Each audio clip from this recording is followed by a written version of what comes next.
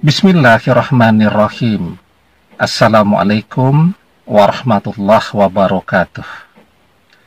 Bapak-bapak, ibu-ibu, mas-mas, mbak-mbak, khususnya adik-adikku sekalian yang dirahmati Allah di mana pun Anda berada. Kembali di IIP Channel bersama saya, IIP Wijayanto. Kali ini kita akan membahas tema doa paling mustajab agar mantan yang meminta kamu kembali kepadanya. Ya. Nah, atau mantan yang meminta kamu yang datang ke rumahnya. Jadi kita kan berharap sekarang ya ketika mantan menolak kita terus maka terjadi keajaiban mantan yang meminta untuk bisa kembali bersama kita lagi ya. Itu kan yang kita tunggu-tunggu. Kita mencari berbagai doa yang mustajab ya. Nah, kuncinya kan ketika kita punya doa yang bisa kita amalkan, maka amalkan terus ya. Karena semakin banyak kita baca, semakin banyak kita amalkan, maka semakin cepat pula terkabul ya. Nah, tetapi kemudian banyak yang bertanya, Ustadz, karena mayoritas doa kan dalam bahasa Arab, ya, belum pernah ngaji, jadi bagaimana caranya agar bisa berdoa, ya, uh, tentu dalam bahasa kita, tetapi doanya itu doa yang sama mustajabnya dengan doa-doa yang disampaikan oleh para guru-guru kita dalam bahasa Arab tadi ya. Nah, jadi ada sebuah doa ya yang bisa kita baca dalam bahasa kita masing-masing ya. Yang sangat mustajab. Ya. Bisa kita baca di mana pun, kapan pun, dan sangat mustajab. Nah, Sebelum kita bahas doanya, jangan lupa yang belum subscribe untuk memencet tombol subscribe dan menyalakan lonceng notifikasi agar Anda selalu mendapatkan pemberitahuan video-video terbaru dari channel kesayangan kita ini. Dengan subscribe, doa-doa kita selalu terhubung sehingga kita selalu bisa berdoa bersama-sama dan agar ilmu yang Anda dapatkan menjadi ilmu yang berkah ya. Nah, jadi ya kita berdoa dengan bahasa yang kita bisa ya. Kita juga mungkin aduh kalau mencari waktu yang mustajab harus menunggu Ya, misal waktu yang paling mustajab itu adalah waktu ketika hujan turun ya. Padahal pengen berdoanya sekarang. Ya, nah, maka doa apa yang paling mustajab untuk dibaca kapan saja ya. Nah, jadi ya sesungguhnya di antara doa-doa yang paling mustajab itu adalah doa yang kita panjatkan jadi bukan untuk kita, tetapi untuk orang lain.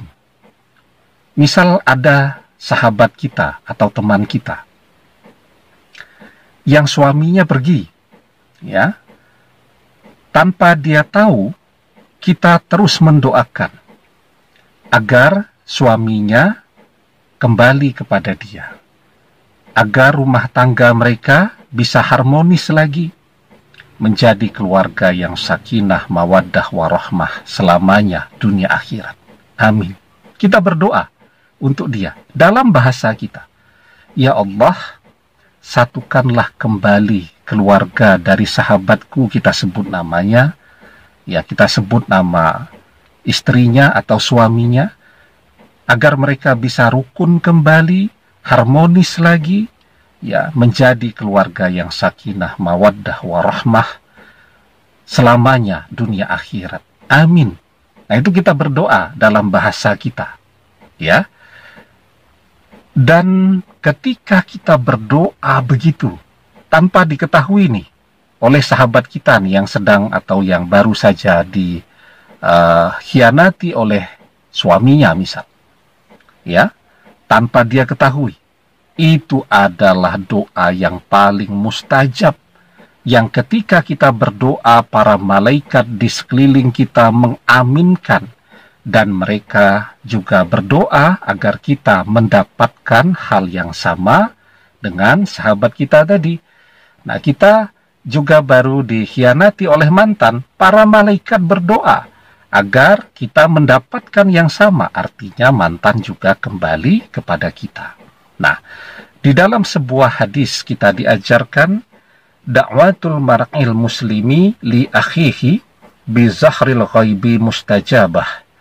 Inda ra'sihi malakun muwakkalun kullama da'a li akhihi bi khairin qala al malakul muwakkalu bihi amin walaka bimislin doa seorang muslim untuk saudaranya yang dilakukan tanpa sepengetahuan orang yang didoakannya adalah doa yang terkabul. Di sekelilingnya ada malaikat yang menjadi wakilnya. Setiap dia berdoa untuk saudaranya dengan sebuah kebaikan, maka malaikat tersebut akan berkata, "Amin," dan engkau pun mendapatkan apa yang ia dapatkan. Ya, nah itu yang saya maksudkan.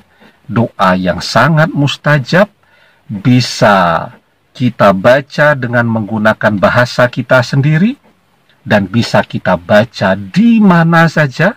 Dan doa ini hebatnya ketika orang yang kita doakan itu tidak tahu kalau kita mendoakan dia itu akan menggerakkan para malaikat untuk ikut mengaminkan doa-doa tadi dan juga malaikat-malaikat akan berdoa agar kita mendapatkan yang sama.